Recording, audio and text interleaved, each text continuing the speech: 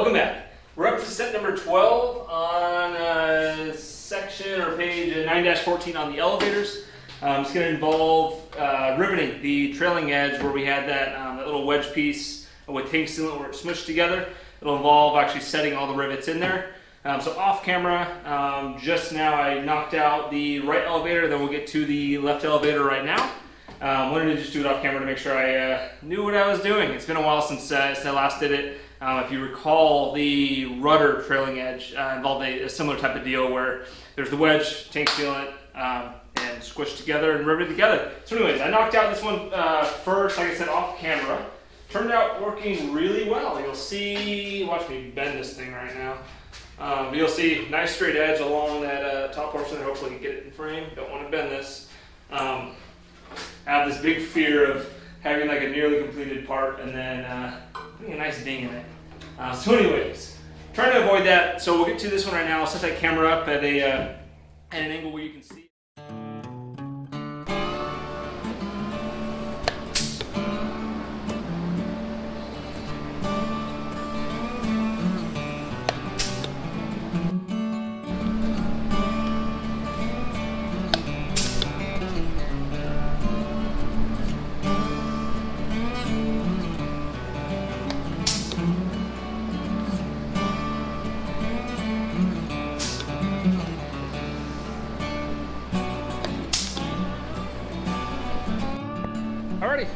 All done with the rivets here on the, uh, the trailing edges.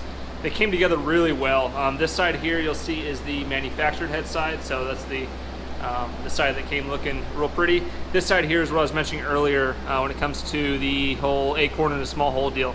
Um, so you'll see they're all very, very consistent. Came out looking really nice uh, and pleased with the results. Uh, so moving ahead, next steps is going to involve putting some rivets in here and then uh, moving forward and eventually getting this thing bent over and closed out. So we'll get to it.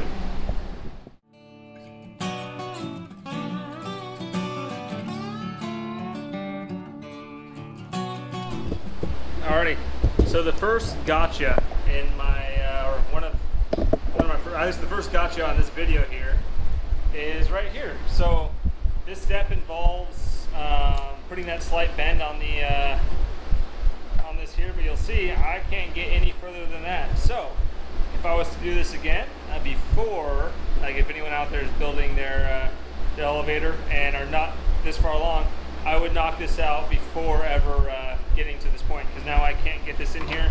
Um, so I think what I'll do is I'll get a um, pair of hand seamers and just put a slight bend. It's not going to be perfect, but it'll be better than leaving it fully empty or fully uh, untouched.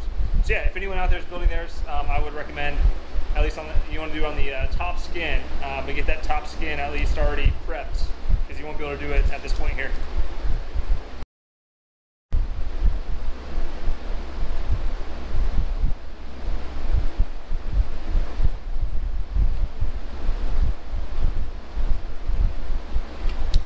Perfect. That'll work. So anyone out there who's doing uh, what I'm doing here, as you probably saw there, just using the uh, hand seamer, I was able to get that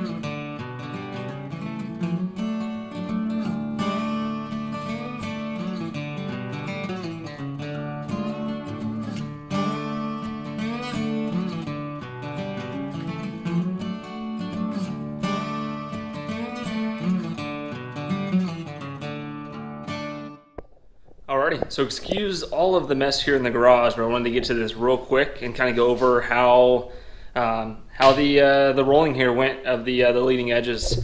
Um, so you'll see they're all complete, all riveted together, and really pleased with the results. Um, I did want to go over real quick though some things that I learned along the way here. Um, I know in the rudder build I probably went over some some key learnings, but I think I've gotten to a point where, where I feel pretty confident um, if I had to keep doing this, which I probably will in the future, um, replicating these results here. Um, let me put this camera down real quick and hop on the other side of the table and kind of go over those learnings with you. So summed up, a um, couple of things that I learned. First thing I learned is uh, when it comes to rolling those edges, um, I found it easier to use a, uh, a smaller pipe versus the, the larger one. I know, I think it recommended in the, uh, in the process here, let's see.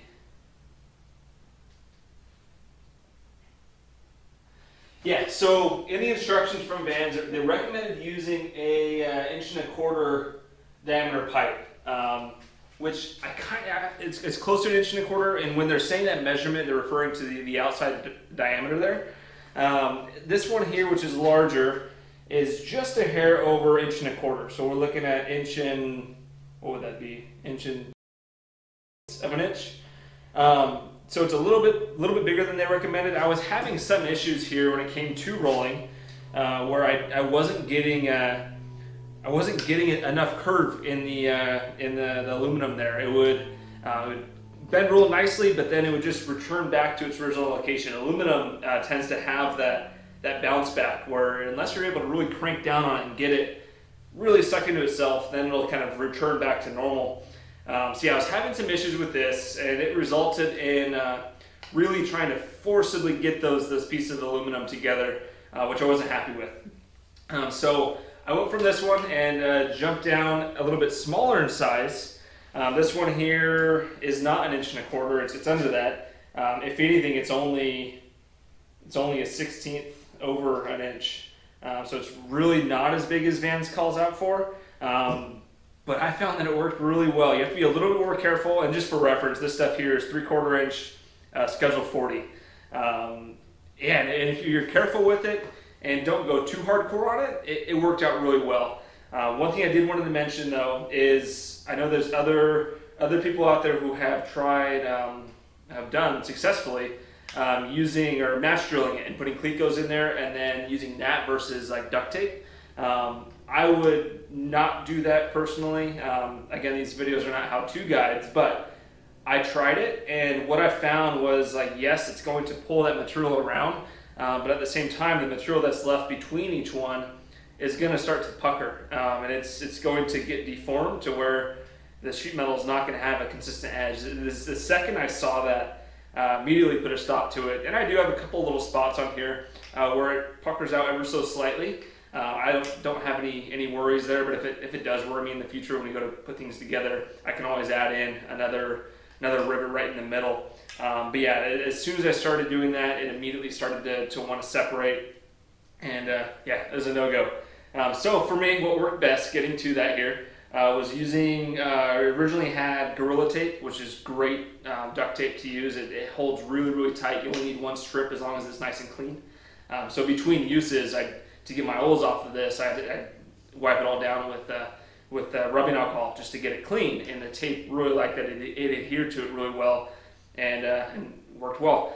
Um, outside of that, I did run out of Gorilla Tape and use standard Harbor Freight duct tape. It was more likely to slip, so I ended up having to, uh, to put one, one down and then kind of overlap it and, and put another one. But it worked. So if you have cheap duct tape, that does work.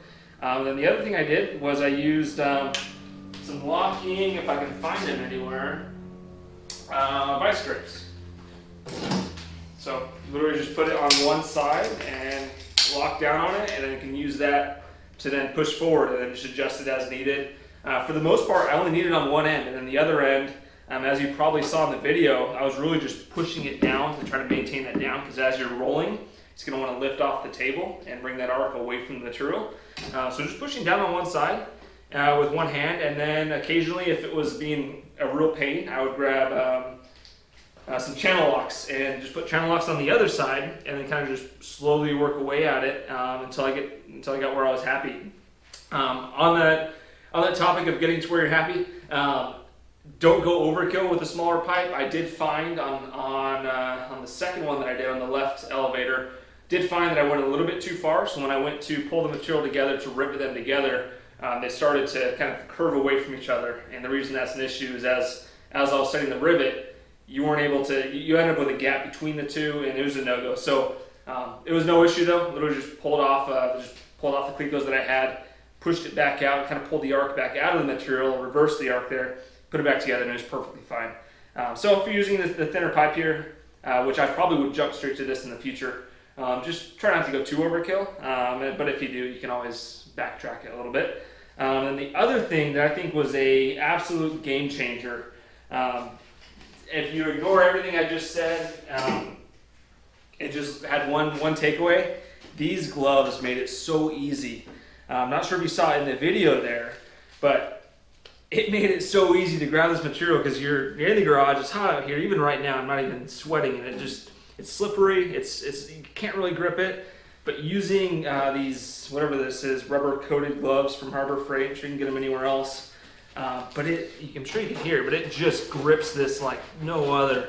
Uh, so it made it super easy and controlled uh, to be able to hold the material and either myself or I had a man out here for a moment there um, helping the Cleco and you're able to, hold the material steady and it doesn't want to move and you're not playing the game of slipping and sliding and if it does slip, it's maybe we'll grab that Cleco crooked. Next thing you know, you're dealing with a with a um, deformed uh, deformed hole. So yeah, this made it really easy, and I'll actually probably use this going forward whenever I like have to store these uh, these pieces inside the house. We have multiple multiple areas where I'm storing it. You have to get up on the ladder and kind of put it along the, the top of the ceiling.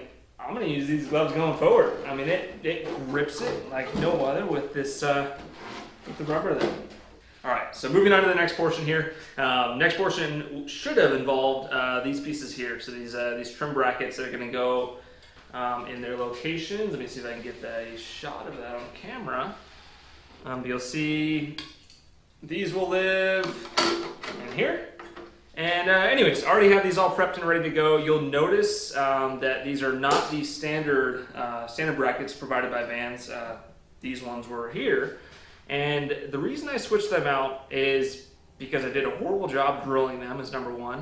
Um, I had center punched it, thought I had the holes all lined up, uh, but my drill bit walked and it probably would have been fine, but it would have really bothered me. You'll see there how they're not perfect and it really shouldn't have mattered too much, but the reason why I didn't want that was because uh, as you rivet or as you, you, then match drill it to the material here, I would always see on the outside it wouldn't be a perfect rectangle, per, per, perfect square.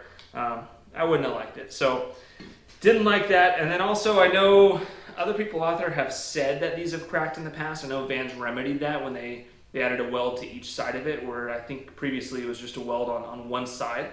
Um, so with all that in mind, there's a um, there's a gentleman on iFlyRV10.com who uh, who creates these really nice machine ones. Uh, so you'll see I already did primer it just because it's two mating pieces there. Um, so I did primer it. Um, but they're real pretty looking. Um, it's it's a perfect. It's going to be a perfect rectangle. So I'm not gonna not gonna go crazy seeing my horribly done uh, drilling job.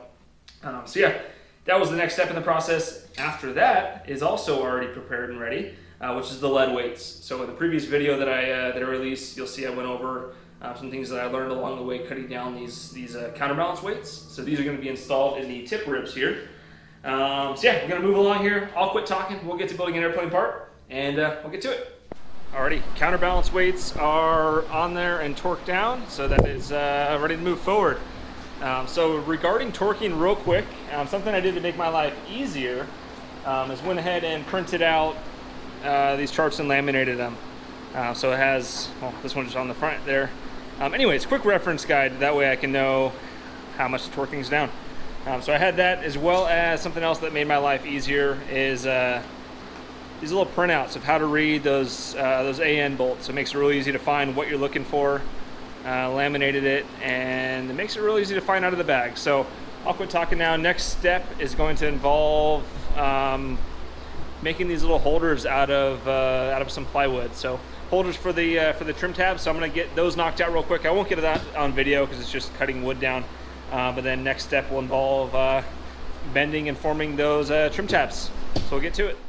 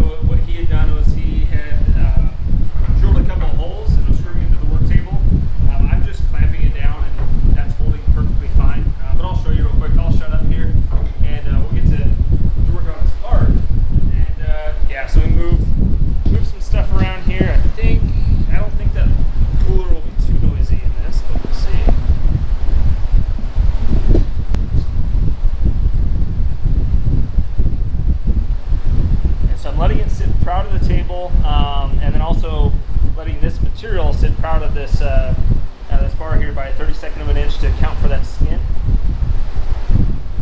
Which I measured the ones earlier. I've gotten good at seeing it off of eyesight, uh, but if you wanted to,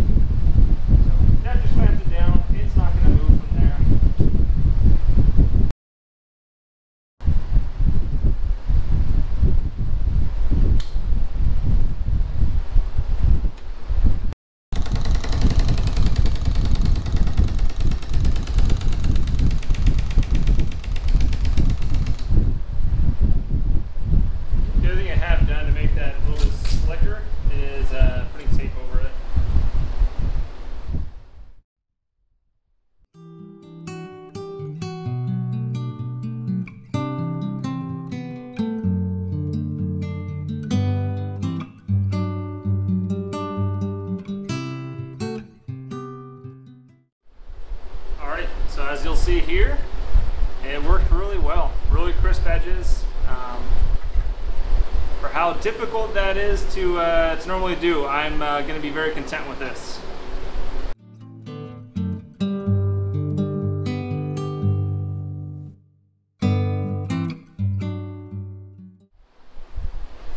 All right, so I'm incredibly pleased with those results there. Um, the uh, first one I had attempted to use uh, that piece, that same piece of steel that I used to form the ends, uh, but instead use it as a way to basically have the material flat, no Clecos no nothing on it, basically flat with clamps on each end, a clamp in the middle, and I tried using that as like a makeshift brake, um, kind of lifting the material off the surface of the table. Didn't work. It, I ended up with a couple of spots where the edge was was not crisp at all. It was pulling away from the table and leaving a very uh, just a kind of a rounded over edge versus having a, a nice sharp consistent edge. Um, so use the rivet gun here, turn down the setting on it, and then kind of slowly went away at it, um, as you probably saw on camera just now. It worked really well. I have this uh, little angle gauge here for doing uh, doing miters on baseboards, uh, but sure enough, it's it's right at 15 degrees, uh, which is which is really nice. Um, so you'll see it has a really nice crisp edge there, and it will work. Um, so really pleased with the results.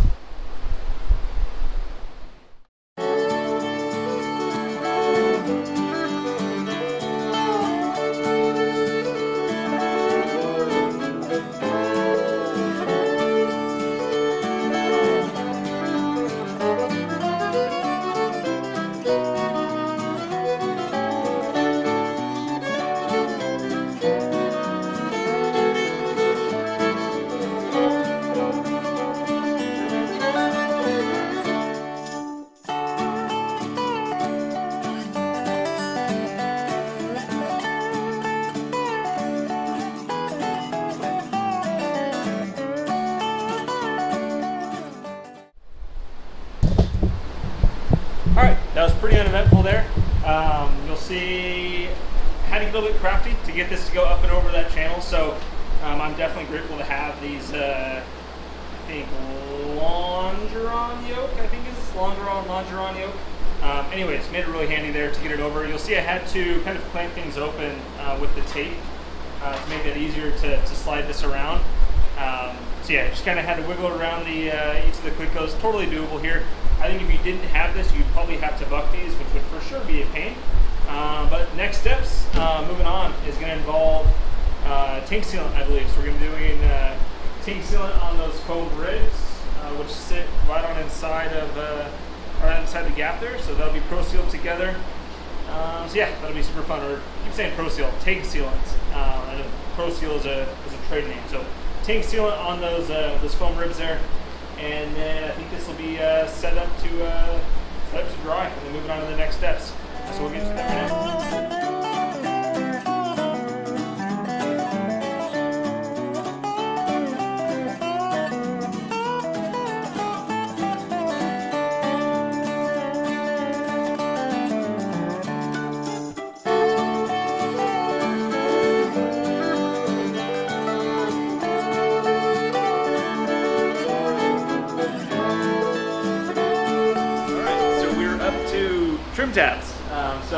Have this one already match drilled on the hinge there um, on the right trim tab.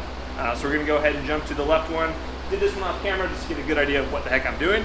Uh, so I'm gonna give you a quick shot of, of what all I did and then I will show you, probably in time-lapse form, um, doing the one on the, uh, the left trim tab there. Alrighty, so off camera, I previously already drilled these two holes. Um, they're offset in a quarter of an inch from each side there. And what that allowed me to do is go ahead and get this cleat gun on.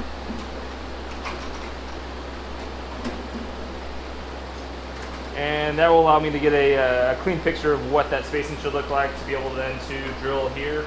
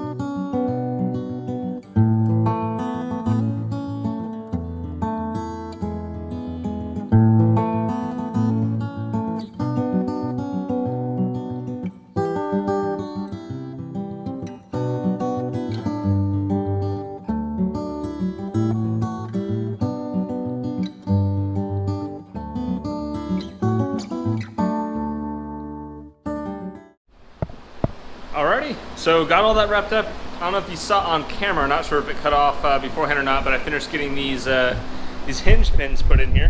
So you'll see that pin that I was bending, I think over there, you probably saw on camera, anyways, over at the vise there. Um, that pin started straight, uh, but then we had to put a, a bend on it there to track it this way, and then there's a hole right there, and that is where some safety wire will go.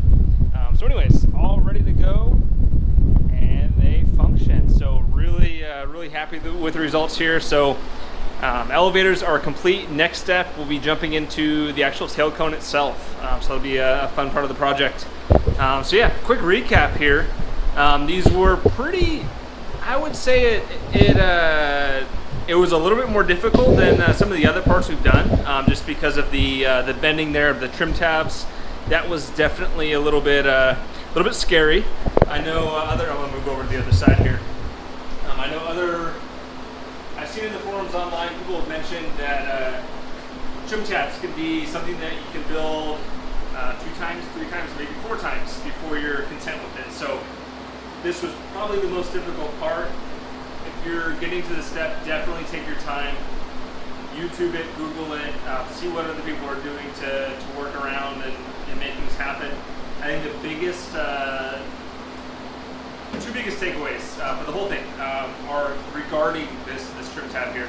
Uh, number one, when using that um, that bending press steel, it, in the middle, it really wanted to balloon out, so I had to really kind of work it by, by hand pushing in the middle there.